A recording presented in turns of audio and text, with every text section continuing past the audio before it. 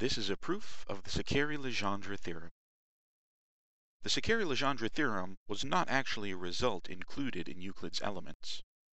It was proven much later by Saccheri and Legendre. Many mathematicians hope to show that Euclid's fifth axiom, which is very different in character from the other four, they hope to show that this fifth axiom could be proven from the other four. And so the set of results which you can prove just assuming the first four axioms from Euclid's Elements, these collections of results are called neutral geometry. So in particular, one thing they were able to prove was that the sum of the angles of a triangle is less than or equal to 180 degrees. In order to prove the sum of angles of a triangle is 180 degrees requires the use of the parallel postulate. So for simplicity's sake, first we'll make the following definition. Given a triangle, ABC, we're going to define the angle sum, we'll call that sigma of ABC, to be the sum of the angles at A, B, and C in this triangle.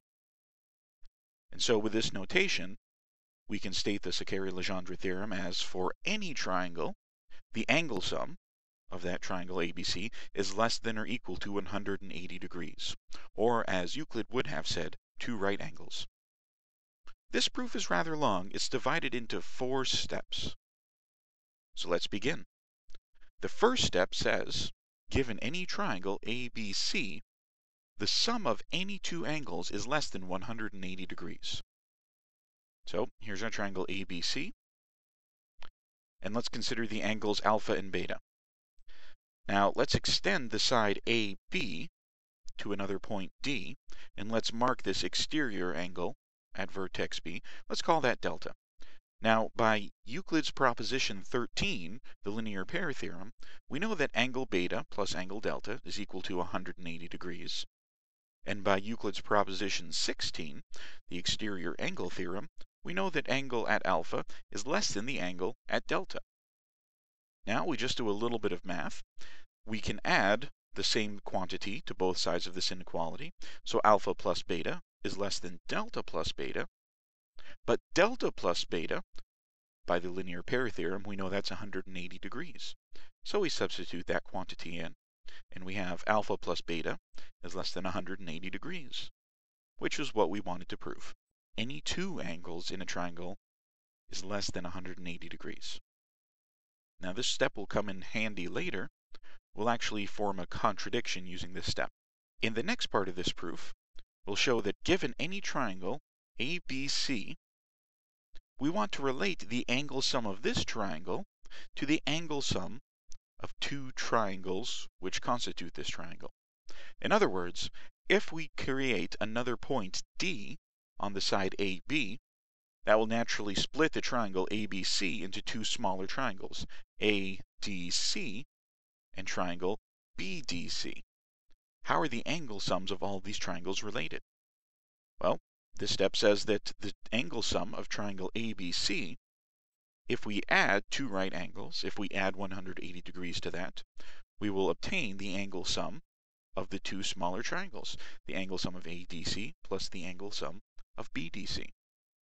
And the proof of this is just strictly algebra. If we label all the angles, the angles of ADC as alpha, delta 1, and theta 1, and the angles of BDC as beta, delta 2, and theta 2, we can write the two angle sums on the right as follows. And by rearranging delta 1 and delta 2 by Euclid's proposition 13, the linear pair theorem, we know those two angles add up to 180 degrees and the remaining angles form the angle sum of triangle ABC. And this completes the proof of step 2 of the Saccheri-Legendre theorem.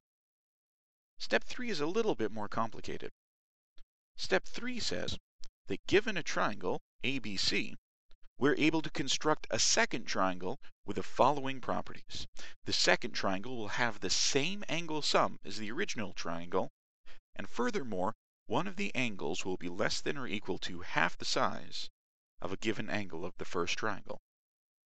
Visually, this says that if we have the triangle ABC and angle A, we'll mark that with lowercase a, given that triangle, we can create another triangle XYZ such that the angle sum of xyz is equal to the angle sum of ABC, and furthermore, this angle x is less than or equal to half the angle vertex A.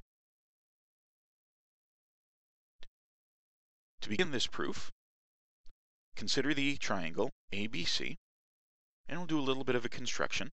Create the midpoint M of the side BC. Once you mark the midpoint, this divides BC into two congruent sides, BM and MC.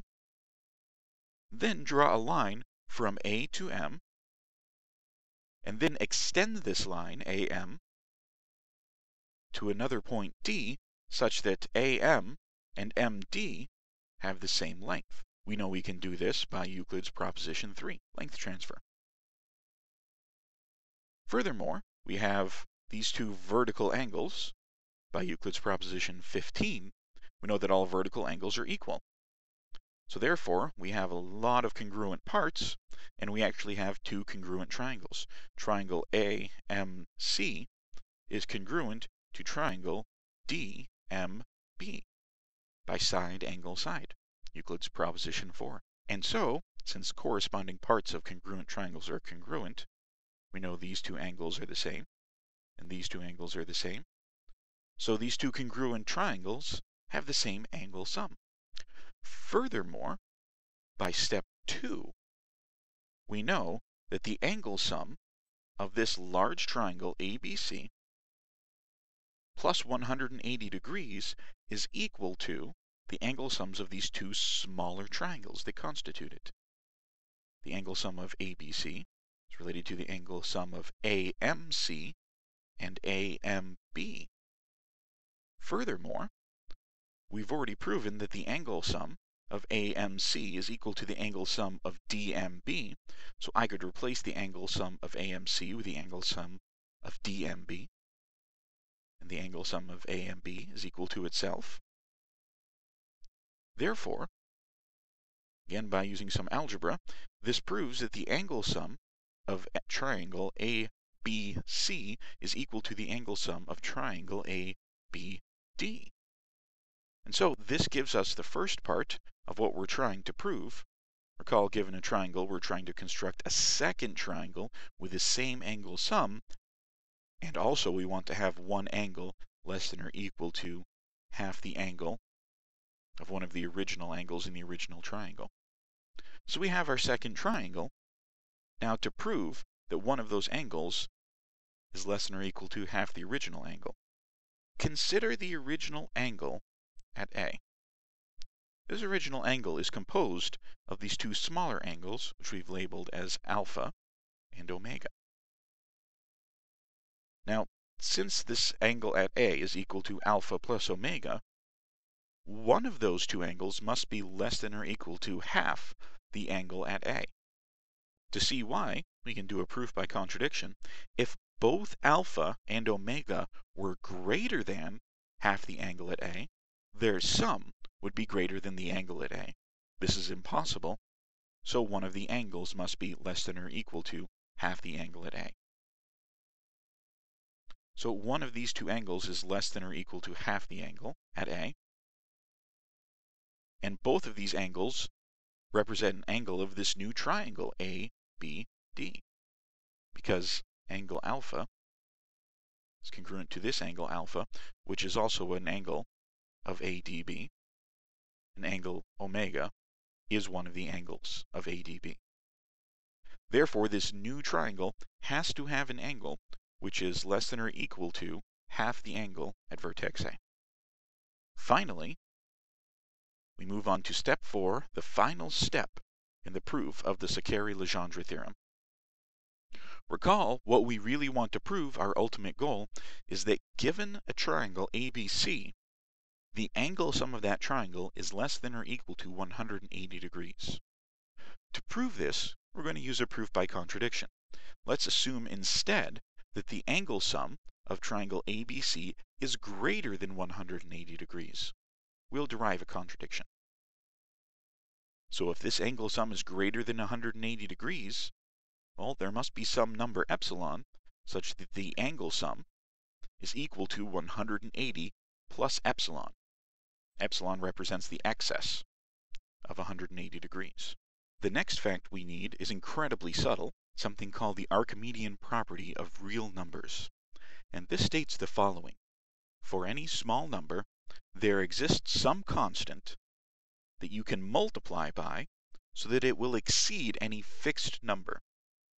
So in our case, the angle at A is fixed, and epsilon you can think of as a small number.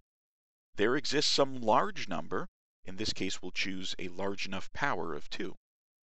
There exists some power of 2 such that when you multiply it by epsilon, it will be larger than the angle at A. This is due to the Archimedean property of real numbers, which is often added as an additional axiom in later treatments of geometry. So what we'll do is according to that number n, the power of 2 that we need, we're going to apply step 3 a total of n times, which will produce n new triangles from our original triangle ABC. So we're given the triangle ABC, the angle at A, we'll label that as lowercase a. From step 3, we create a new triangle with the same angle sum, and this angle, A1, is less than or equal to half the angle at A. Repeat, given this triangle, we produce a new triangle with the same angle sum, and this angle, A2, is less than or equal to half the angle at A1. Now we can combine these two facts to show that angle A2 is less than or equal to 1 fourth, or 1 over 2 squared, the angle A. Now from this second new triangle, we'll produce a third new triangle with angle A3. And angle A3 is less than or equal to half the angle at A2. Again, this triangle has the same angle sum.